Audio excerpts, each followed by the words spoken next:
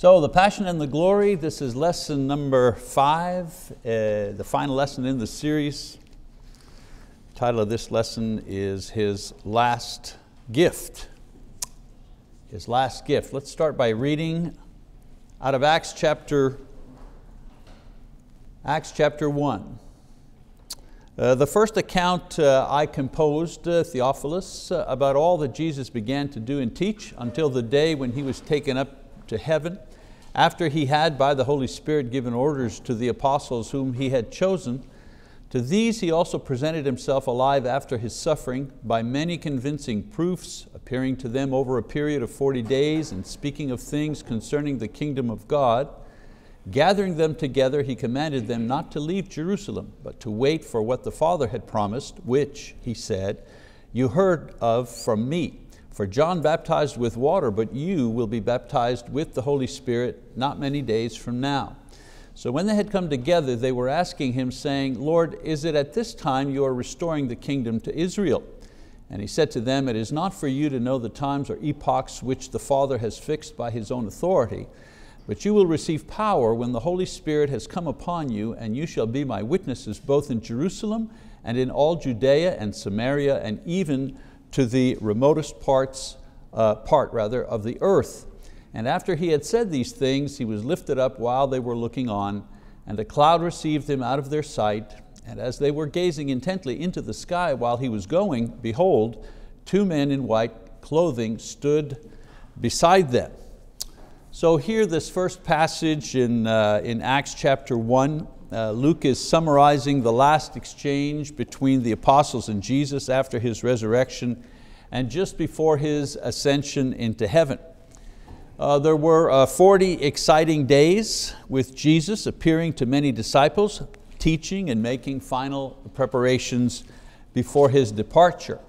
And so He instructed them concerning the kingdom, and he told them not to begin their ministry in Jerusalem until they were baptized with, that's in verse five there, or received power from, that's verse eight, the Holy Spirit. Important to make that distinction. They were baptized with or received power from the Holy Spirit. So during His three years with them, Jesus had given them many precious gifts. For example, the words of the Heavenly Father, to uh, enlighten them. He had given them the proof of His divinity in various miracles. We read about that in John 14, 11, uh, in order to reassure them and build their faith. Um, he had given, of course, the sacrifice of His body and blood to pay for the debt of their sins, and also the witness of His resurrection in order to confirm all of His promises, Matthew 28, 18 to 20. These were all, in a way, they were gifts that He had given to them.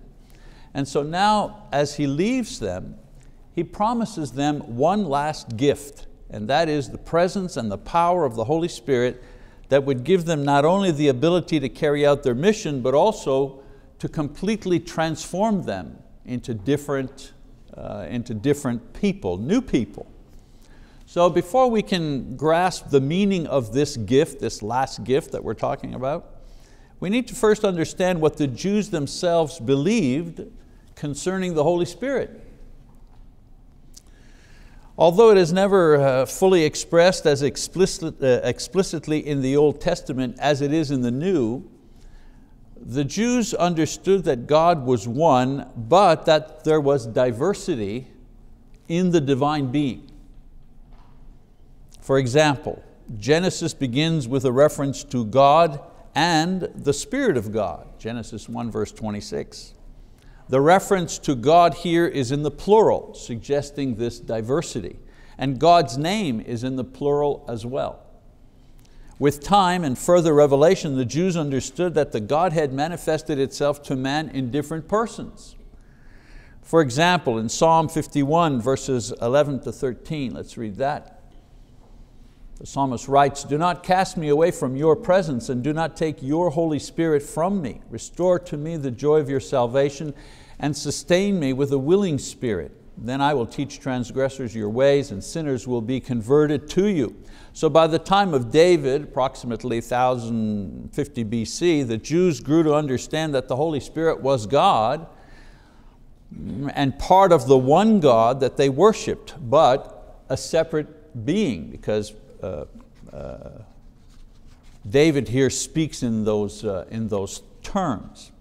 In Isaiah 61 verse 1, another example, he says, the Spirit of the Lord God is upon me because the Lord has anointed me to bring good news to the afflicted. He has sent me to bind up the brokenhearted, to proclaim liberty to captives and freedom to prisoners. So with time, uh, they were taught that it was the Holy Spirit that gave power to their prophets and leaders who did great miracles, who saved them from their enemies, who enabled them to prophesy about various things, including the Messiah uh, to come.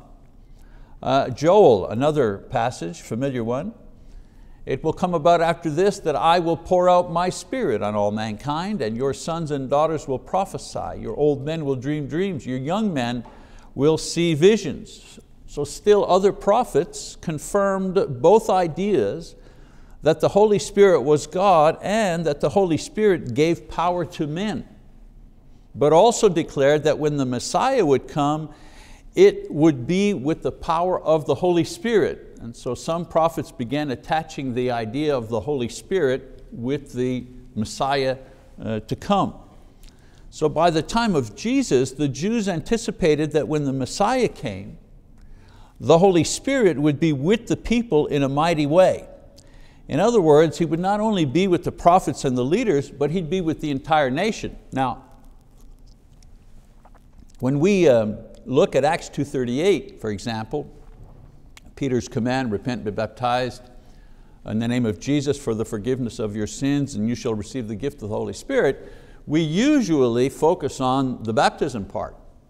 You know, and we use that as a proof text that that baptism is the proper faith response to the preaching of the gospel, which is, which is correct. But if you're a Jew in the first century and you heard that sermon, it isn't the baptism part that would surprise you or that would be you know, new to you. The, you know, the idea of water purification or you, the use of water in purification was not a new idea to the Jews. I mean, John the Baptist even had brought about uh, this idea. No, no, no, when, when, when Peter said that, he says, and you shall receive the gift of the Holy Spirit, that was the news.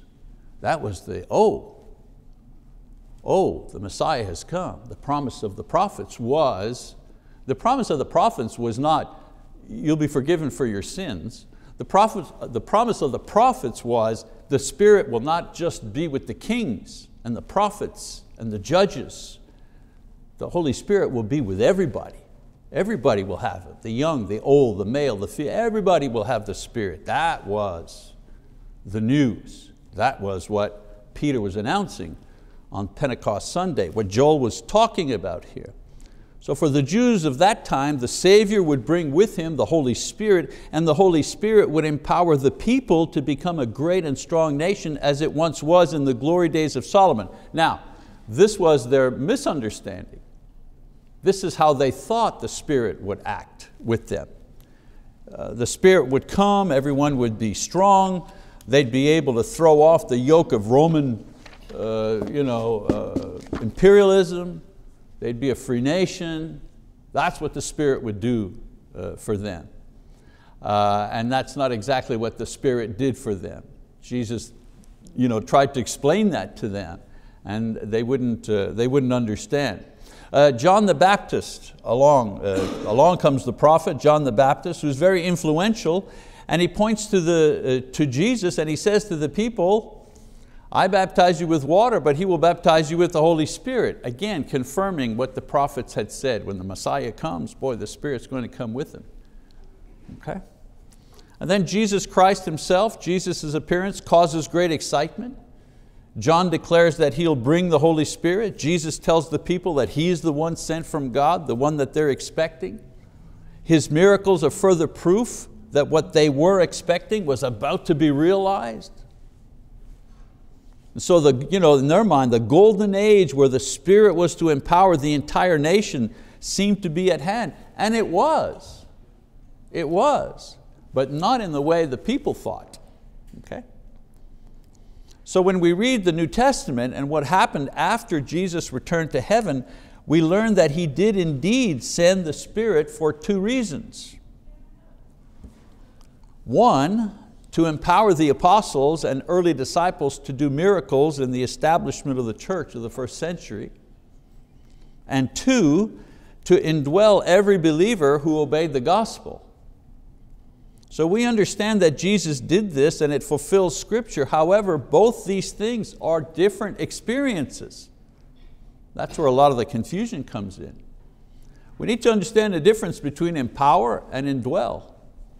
When we speak, uh, you know, if you have family or friends uh, in, you know, in the charismatic movement or Pentecostal church, you know, that's just the thing that they don't always understand. So let's talk about empowerment.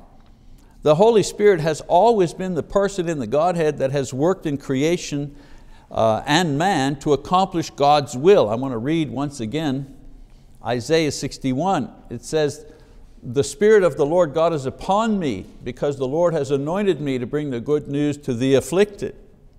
By the power of the Spirit, Isaiah the prophet spoke because he was empowered by the Spirit to speak. Okay? 2 Peter 1, familiar passage again. Peter says, speaking of prophets, but know this first of all, that no prophecy of Scripture is a matter of one's own interpretation. For no prophecy was ever made by an act of human will. No one ever said, well, you know, today I'm going to talk about God, or today I'm going to make a prophecy about God. I think this is a good day to do that. You know, he said, no, no, no. Not by an act of human will, but men moved by the Holy Spirit spoke from God. We could take that word moved and we put the word empower there and it would work in the same way. But men empowered by the Holy Spirit spoke from God. By the power of the Spirit, the prophets spoke from God. Uh, by the power of the Spirit, Jesus performed His miracles. But if I cast out demons by the Spirit of God, then the kingdom of God has come upon you, Jesus said. And so Jesus promised His apostles that He would give them this same power from the Holy Spirit, the same power that worked for the prophets and the judges and the leaders and the kings as well as for Jesus would now work for them, the apostles. They would be empowered. Why?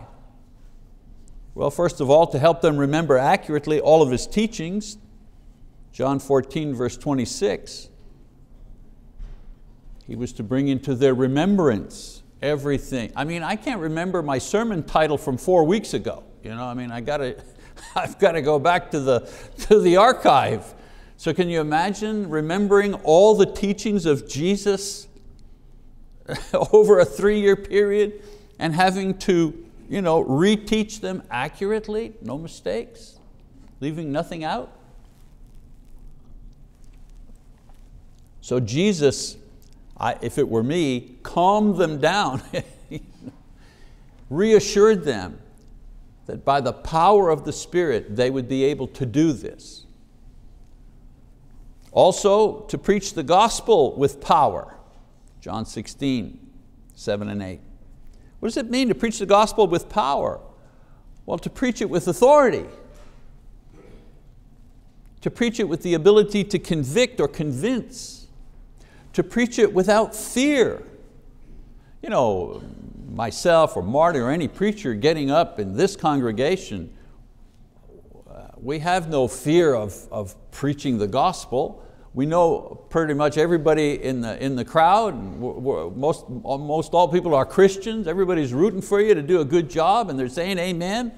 Requires no quote courage to do that. But if you go to a, you know, if you're invited to go somewhere else where nobody's a Christian, and it's a bit of a hostile crowd, and they'll boo you or throw something at you if they don't, if they don't like what you're saying. Well, it might take a little courage to stand up and start preaching to that crowd. So he's saying, He'll preach with authority and conviction, without fear. Who will give you that power? Well, the Spirit will give you that power. Don't be afraid.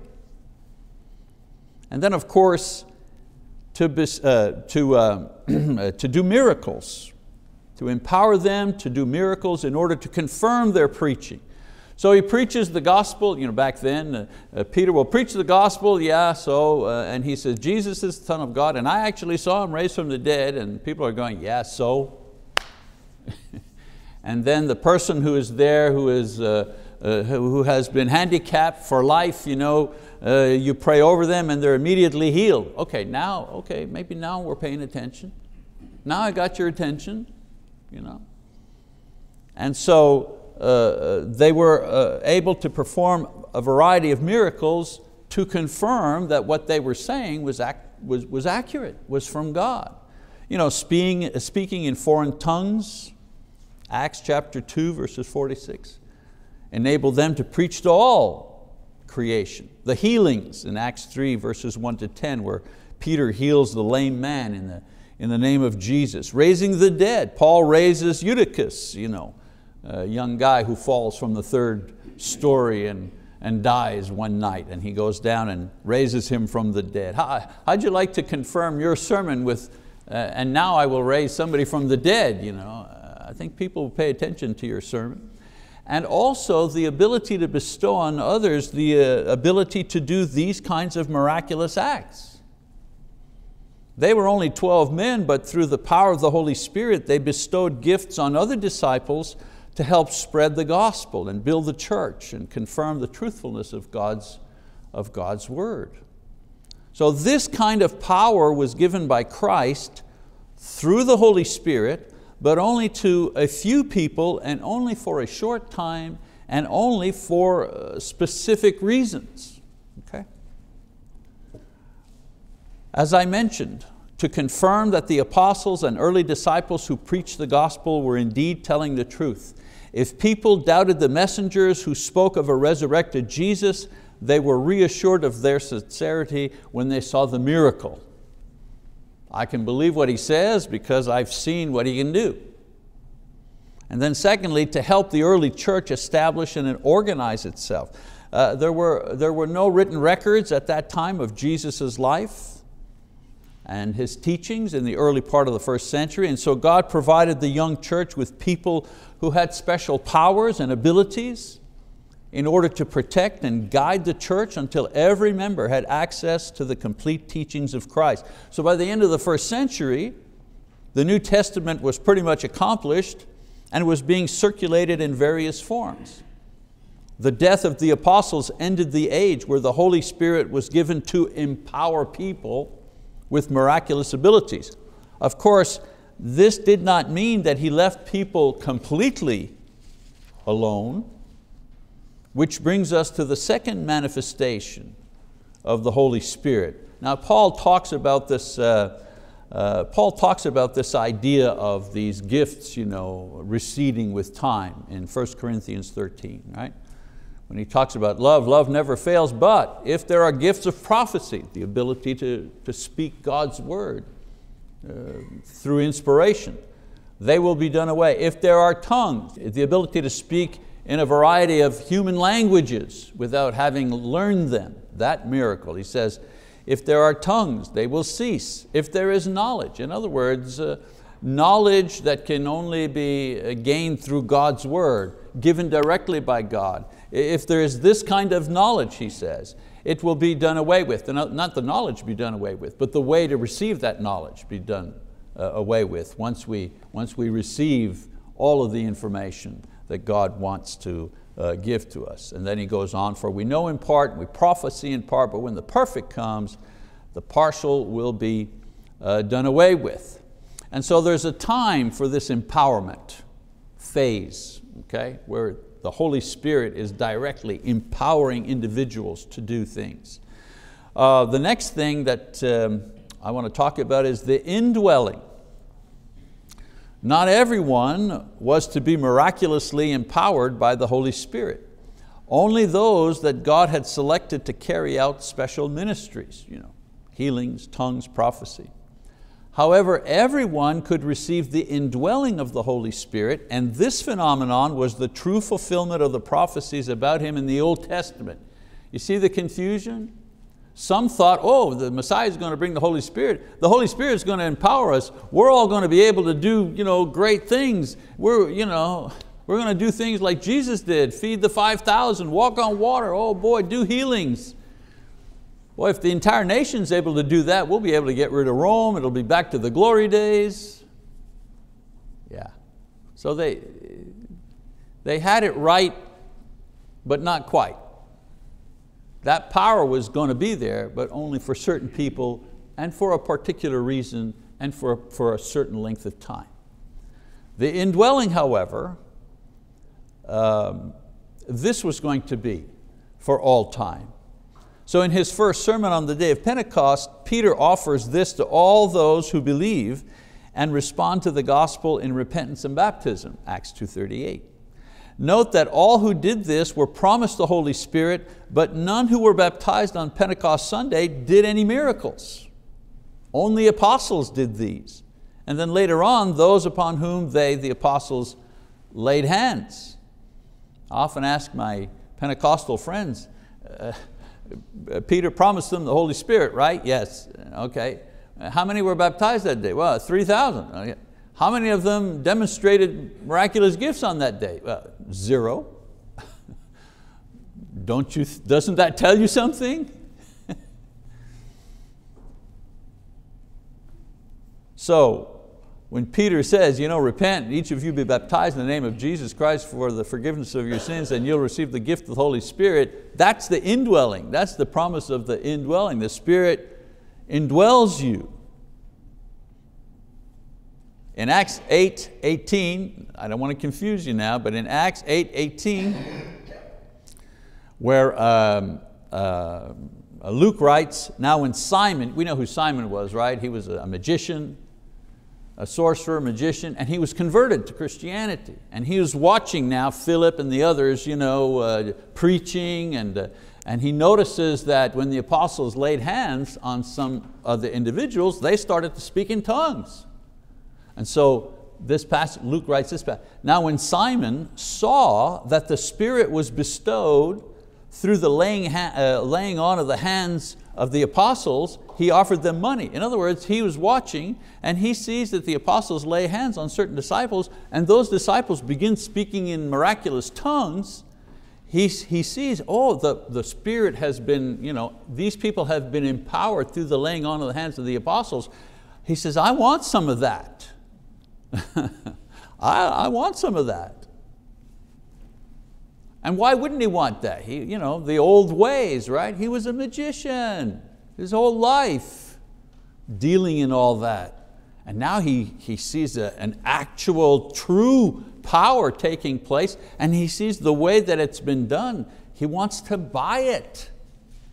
And we know the story, you know, the, the apostles denounce him and uh, uh, he's afraid and he asks them to pray for him, but a good example of uh, the mindset of that time and the confusion between the two. So the gift of the Holy Spirit is God living within the heart of every believer, the actual presence of God within the individual in the person of the Holy Spirit. Does the Bible teach that? Because you know, even in the church there's, there's you know, different points of view. Some people think that this phenomenon here, this indwelling, uh, is, uh, hmm, uh, is merely the, the knowledge of God's word. In other words, uh, the Spirit gives us the word and the, the Spirit lives within us by the word being inside of us. You know, we, know, we memorize scripture, we understand God's word. That's how the Spirit uh, dwells within us. Uh, I don't particularly hold that view. Uh, and one of the reasons I don't is I have trouble sustaining that kind of view based on this passage here. You know, Paul says, but if the spirit of him who raised Jesus from the dead dwells in you, he who raised Christ Jesus from the dead will also give life to your mortal bodies through His Spirit who dwells in you. That's not a metaphor. He's not using a metaphor here. He's saying through His Spirit who dwells in you. So Paul does not explain the mechanics of how a divine being can inhabit a mortal body, only that it does. You know, faith is taking God at His word even when we do not understand how He has done certain things. Does the Hebrew writer tell us? By faith, you know, what is it? We understand the, world was made, the world that is seen is made for things unseen. How does that work? Can somebody give me an equation, a mathematical, a mathematical equation? Can somebody explain to me scientifically how God made the things that are seen from things that are unseen? Because that's the only explanation we get of, quote, how He had done things. Here, uh, there's the passage. By faith we understand that the worlds were prepared by the word of God, so that what is seen was not made out of things which are visible. Okay, that's an explanation, but you still require faith, right? In the end, faith will be rewarded in resurrection. And so the Spirit dwells in us. Another passage that, that confirms this concept, that the Spirit of God in a dynamic way dwells within us. Paul says, do you not know that you are a temple of God and that the Spirit of God dwells in you? So here Paul explains the same event, but he uses different imagery. The body is a temple, the Holy Spirit lives within the body.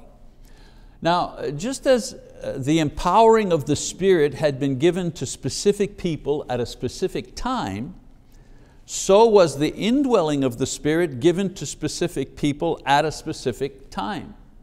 Okay? He was to indwell every person that believed in Jesus, repented of their sins, and was baptized, according to Acts 2.38. The Holy Spirit was offered to everyone, not just the apostles, not just to a few special disciples. This is how all nations would be blessed. The Holy Spirit would be available to all nations, not just the Jewish nation. Secondly, the people who received Him would not demonstrate miraculous powers, but that is not to say there would be no change in their lives on account of the Spirit's presence. One does not have to perform miracles to know that the Holy Spirit dwells in them. A believer can know this in other ways. And so the Holy Spirit within a Christian motivates him to seek and experience the things of Christ. How do I know the Holy Spirit is within me? Well, a couple of examples. One is prayer. He's our prayer partner, if you wish. He encourages us to pray with reassurance that our prayers will be heard. He moves us to pray and keeps our prayers before the throne of God. Romans 8:26, Paul says, in the same way the Spirit also helps our weakness, for we do not know how to pray as we should, but the Spirit Himself intercedes for us with groanings too deep for words. And so through our prayer life, our desire for righteousness, our flesh or human nature has no interest in seeking righteousness for Christ's sake. This is the work of the Spirit. The Spirit leads us into the desire for good, gives us a thirst for God's righteousness and the kingdom's establishment. The, the Holy Spirit is behind every campaign to evangelize. Romans 8. So then, brethren, we're under obligation not to the flesh to live according to the flesh, for if you are living according to the flesh, you must die. But if by the Spirit you are putting to death the deeds of the body, you will live. For all who are being led by the Spirit of God, these are sons of God. The flesh never wants to go the second mile. you know, Flesh doesn't want to do that.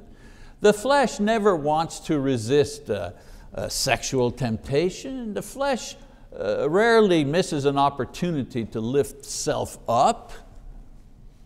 It's the Spirit within us that calls us to humble ourselves, to do what's right, to go the second mile, to be pure because it's pleasing to God. That's the work of the Spirit.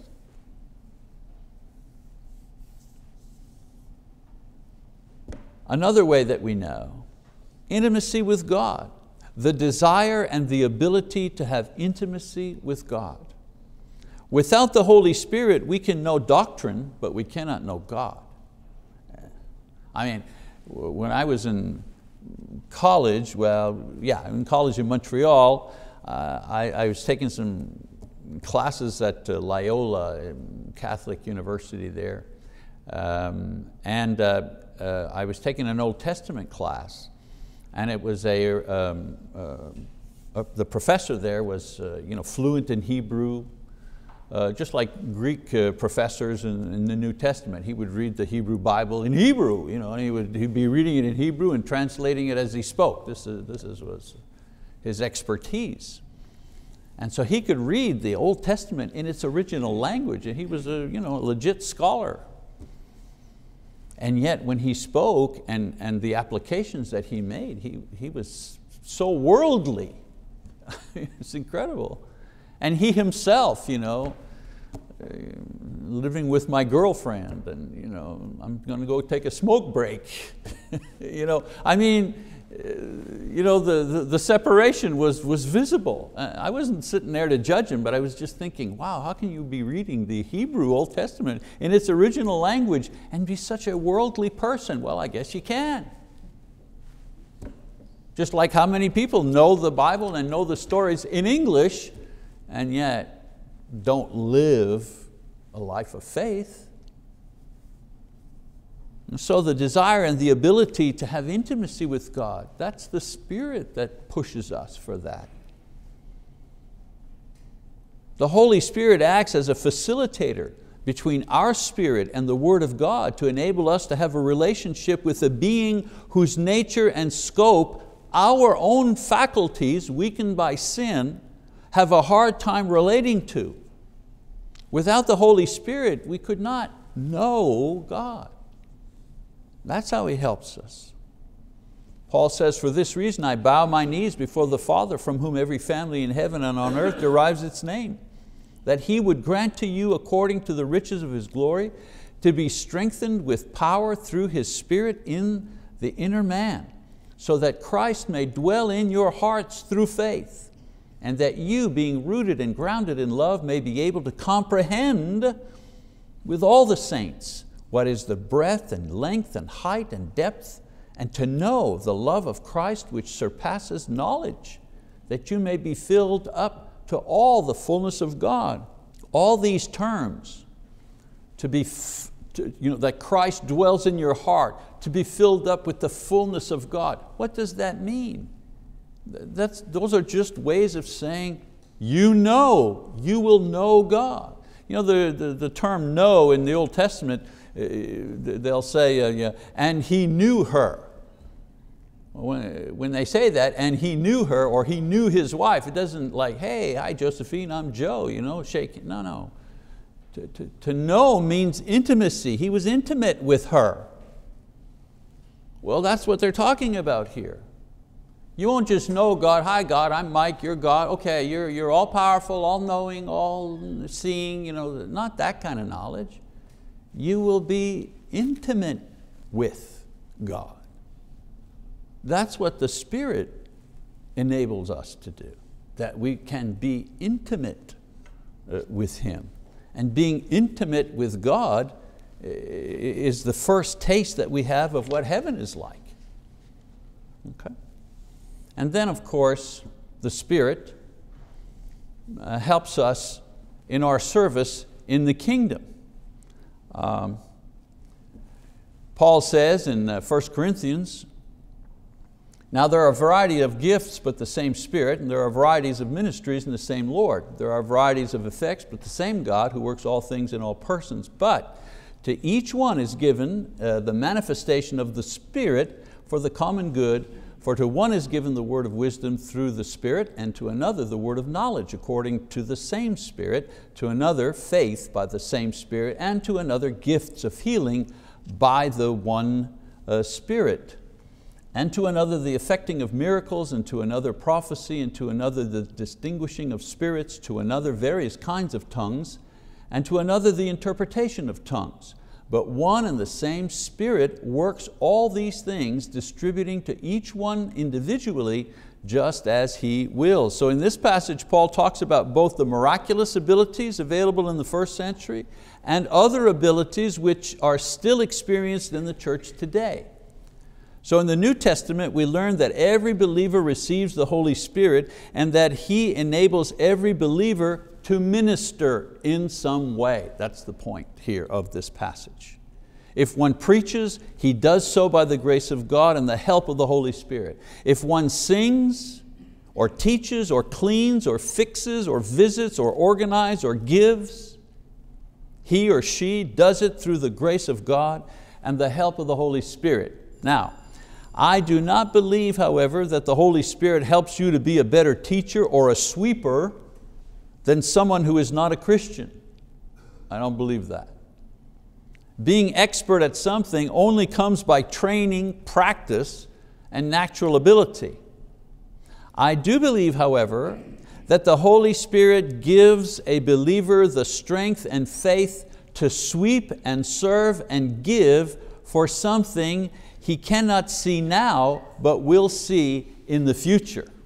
That's how the Holy Spirit enables me to serve. The Holy Spirit helps us fix and serve and give for something they cannot, they can, excuse me, uh, people who do not possess, that's the point. People who do not possess the Holy Spirit, they fix, they serve, they give for something that they can see and touch and taste. The Holy Spirit, on the other hand, helps the believer to continue to do the best he can for something not yet seen a promise not yet realized. I know the Holy Spirit is in me because I am spending my life serving a Lord I cannot see, ministering to a kingdom that I cannot touch. I've tried to explain who receives Jesus' last gift, the Holy Spirit of God dwelling in the heart of the believer, and what are some of the things the Holy Spirit does for the person He indwells. So that's you know, we tried to cover that. We only have about two or three minutes left, so I want to conclude by telling you that the offer of the Holy Spirit is still available. God no longer empowers us to do miracles today because we no longer need them to confirm or establish the church. We have His word that does that. We now have His complete word recorded to help us do this work. The sign that we are truly of God is not the power of miracles, but the power of love. By this all men will know that you're my disciples, Jesus says, in the way that you love one another. There's the sign of discipleship. He does offer forgiveness, however, because we're still sinners and need to be forgiven. And He offers His Holy Spirit to live within us because all of us, all of us desperately need help in prayer, help in doing what is right, help in knowing God intimately, help in serving a God we cannot see, in a world, in a world that discourages us to do that. So, through the eyewitness records of Jesus' final days, I've tried in these last five sessions to share with you His passion and His glory. We've been in the private room and seen Him eat the final meal with the apostles. We have heard His final words while He hung on the cross. We were there to see and hear Him as He appeared to the apostles and others after His triumphal resurrection. And all of us know that His final command is that all the world is to believe and to be baptized or perish forever. And finally, we have received the offer of His final gift, the Holy Spirit living inside of every single person who will receive Christ through faith, expressed in repentance and baptism. And so the passion of Christ on the cross was for your sins and my sins, and the glory of His resurrection can be the glory of our own resurrection as we continue in faith. All right, there's the series, The Passion and the Glory. I thank you very much for your attention. God bless you.